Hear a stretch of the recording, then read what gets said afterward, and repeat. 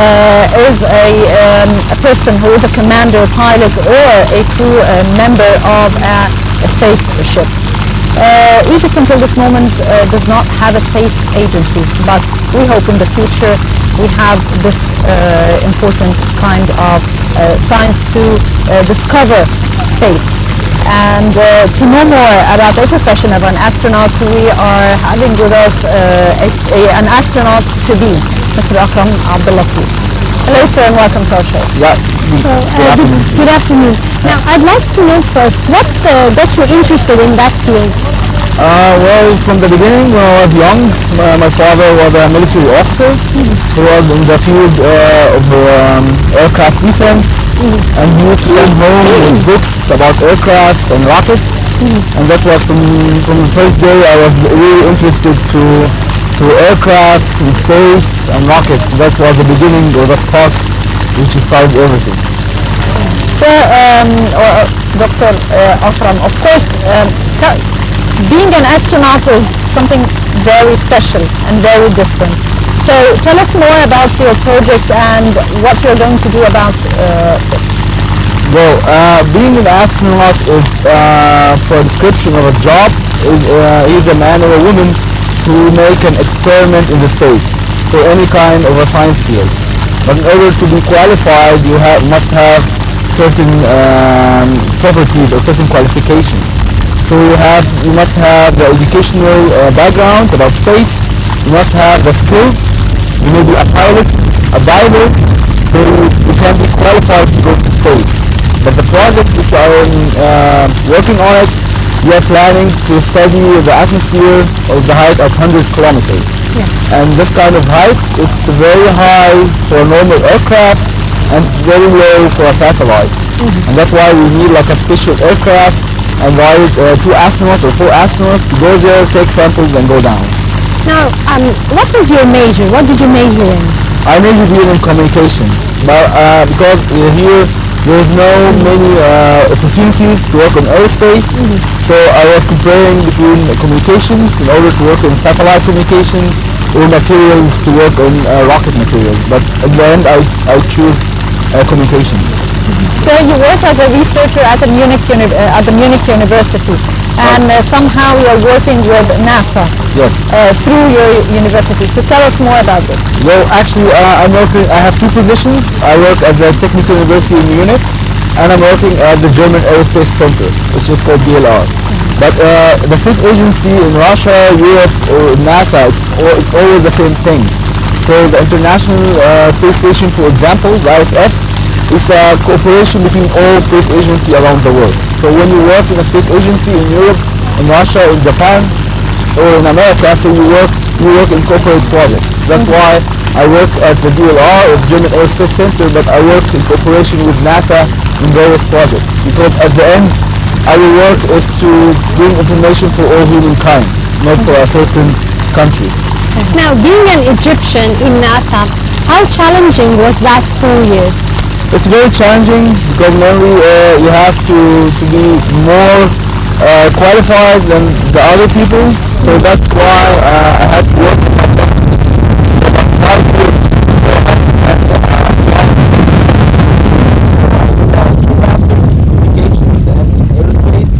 I had a pilot license, I had driver license, I learned four languages, and then I uh, had applied for the program. That's how you have to work more on yourself as a person or as an individual, and that's how the other space agency can pick you. Um, uh, Dr. Akram, um, of course, space has lots of mysteries until, until this moment.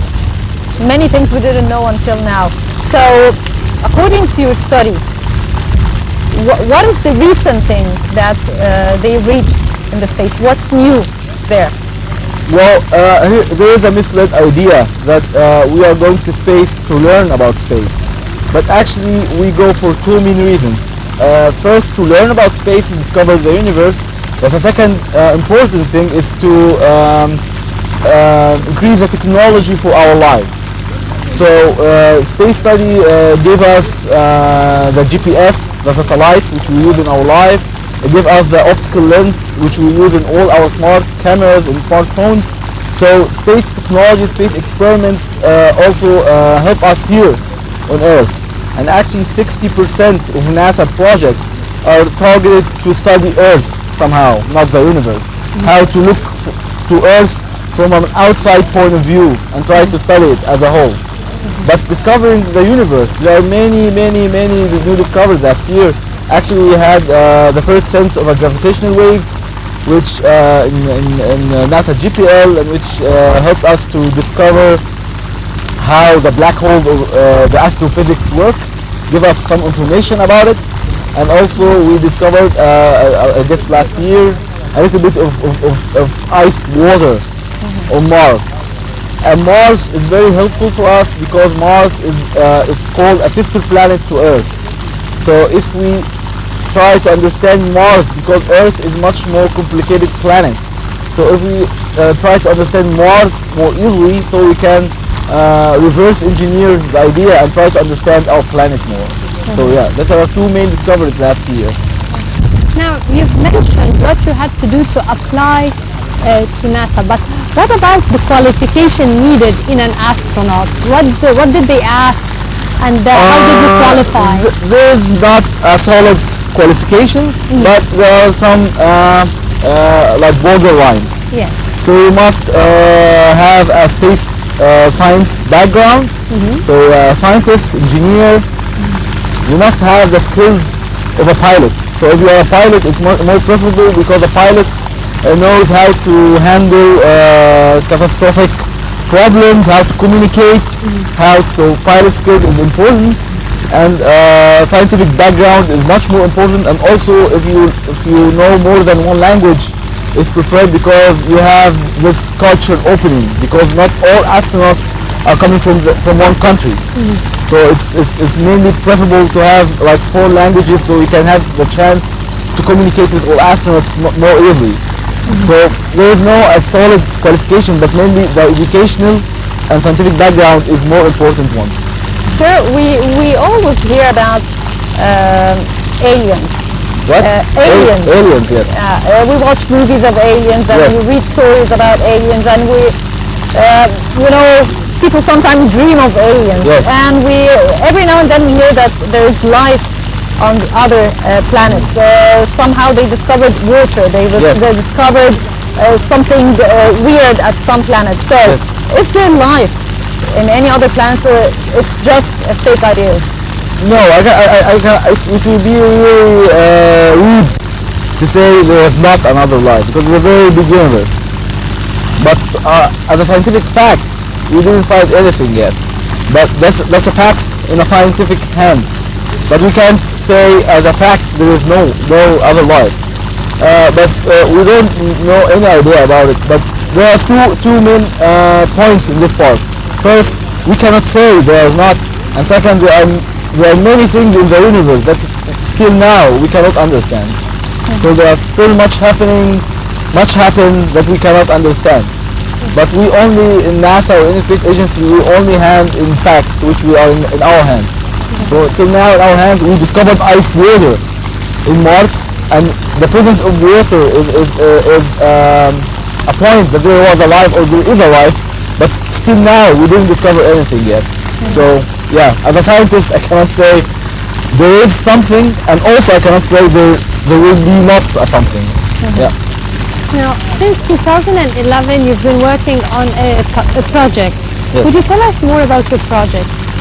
Uh, which project? Well, it is uh, associated with uh, DLR, Yes? yeah, yeah and uh, it's uh, uh, also uh, in a, uh, as a development engineering project. So would you tell me, you tell us the one that you like? Yeah, well, I joined the DLR in 2011, and we have lots of projects uh, which mainly uh, we use uh, aircrafts, uh, normal aircrafts, but we modify the aircraft to do experiments in the atmosphere. So we want to study the atmosphere, the amount of carbon dioxide. Uh, we uh, develop new radar systems, and then we use our aircraft as a DLR and try to use it to, to understand the atmosphere more. So there is a part of space and part aeronautical part from aircraft. So there is a problem um, when uh, space people talk about it is the gravity. Yes. outside. Yes. And uh, many astronauts, we, we hear about them that they suffered from the zero gravity, gravity Yes. on space and they face some problems. So tell us more about this. Yes, exactly. Uh, the problem is uh, we are created to live on Earth. So our bodies, uh, our bones, our muscles are created to make us stand up against the gravity field. So there is a force pushing you down and your body stands up against this force. That's a problem in, uh, on space. There is no such force. So uh, your body, uh, as usual, adapts the new environment. So the problem you, you, you have bone loss and muscle loss and decrease in bone, decrease in calcium, decrease in, in, in muscles, decrease in every uh, uh, kind of, uh, of system which try to adapt the gravity. And the problem is when astronauts stay in the ISS like for six months without working out, they cannot walk on Earth when they come back because there is no bones left to walk. So that's why he has to stay in bed for three months in order to regain his calcium, regain his bone, regain his muscles. So that's why each astronaut must do like two hours or three hours of cardio on the International Space Station. So they, they do the, the run when they are attached by cables to the ground because they are floating and then they run minimum three hours per day in order to keep their body uh, feeling the gravity and feeling the gravity. That they are feeling human being again. because they are human being. And that uh, there were two astronauts uh, two years ago who stayed in the who stayed in the International Space Station for one year in order to see uh, the capabilities of medicaments and uh, this kind of trainings. Are they enough to to regain the body muscle in order to know if we are able to go to Mars or not? Because Mars trip is about nine months. So we have to know if the astronaut could handle this kind of duration in zero gravity or not. So the astronauts suffer, but with, with the right type of medicaments and training on the ISS in space, it, it- the problem is solved. So right now, if, if you're doing the training while you're in space, it's no longer a problem, totally. Yes, yes. Now, for yourself, how are you training? Like, are they giving you certain exercises? Uh, uh, are you preparing yourself in certain ways? Yes. Well, uh, the first point is prepare yourself to handle the equipment where, which you are doing the experiment. So you have to do more trials, more trials, in order because uh, in space you will have only one shot, and that's why you need to make uh, this kind of experiment. It's like eating, like intuitive, not thinking about it, and then you have to do it a lot, a lot, a lot, and then another other training is they are trying to, to simulate uh, the space environment of launch and re-entry in Earth. So when you launch or you enter into Earth, there is a high G-force in your body. And that's why we want to know if you would uh, sustain this kind of force.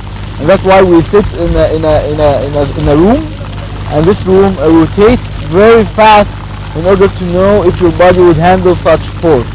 So in the, there are two points of training: is working in the equipment and science goal of the of the mission to try to train your body of what kind of, of, of effects will be happen in your body during the mission.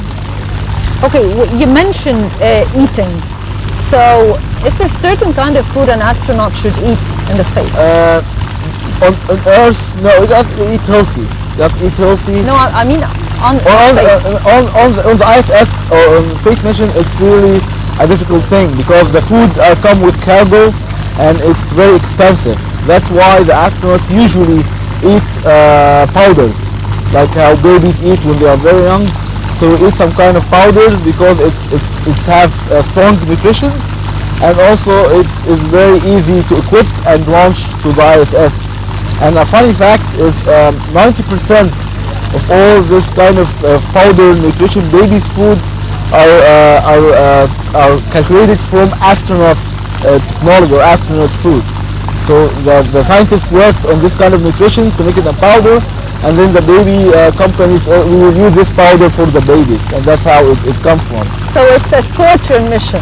Yes, yes, it's, it's a very hard one, Yeah. but uh, the view is very perfect, so Amazing. you have to pay it. So, Yeah. So I guess you're looking forward to the view. Yes, of course. Now, for the mission itself, now they're they're preparing all of you. Now, what have they given you a certain mission, or once you're trained, they tell you what the mission is? No, we know the mission. We know that we are gonna study the atmosphere. There are kind of clouds, very high clouds in the atmosphere. We want to study this kind of, of clouds, uh, and we are trained to do the mission a lot. But uh, uh, it's only it's always tricky to know when you are going to fly because there are very uh, politics involved and very a lot of, of, of, of dates or a lot of variables you cannot control. So any astronaut or an astronaut candidate must train each year hard, waiting for the call that you're gonna fly this date, this time. So we are trained for the mission. We know the mission, but we are not. We, are, we have no idea when and who is gonna fly first. Every now and then we hear that um, NASA or I don't know, it's a space agency is organizing a trip to space Yes. for the rich people, and he has to pay a huge amount of money in order to go to space. Yes. So how this could be accomplished? And uh, It's- it's- it's is, it, is it easy for an easy person to just go to space? It's not easy, but it's doable. It's just like flying. So when you fly at the first, at the beginning, it was a, uh, an, a crazy idea to use an aircraft and fly. And right now you just pay for the ticket. The pilot do everything and you just sit and pay the, the, the ticket. So NASA, not only NASA, many commercial uh, companies have the same idea. That you're gonna pay for your ticket and go to, f- to fly in space for like hour or two and then go back. It's, it's actually doable and are, the companies have, have already started testing the equipment to fly. But what is the difference between an astronaut and a rich guy? The astronaut is like the pilot. He's the guy who is commanding, controlling, and doing everything. And the guy, uh, the tourist sitting back there enjoying the view. And actually, uh, each astronaut always say that you usually don't have that kind of time to enjoy the view, just seconds. and then we you have hope to go to we hope that you enjoy the view and that uh, you'll continue the mission properly and that you'll be our first uh, Egyptian uh, not candidate but astronaut Yeah. in space. Thank Thank, you very much, Dr. uh, Akram Abdellatif. Thank, you very much Thank for this very much. interview. And we will be having a quick break, but stay tuned for more coming up on Nile Cruise.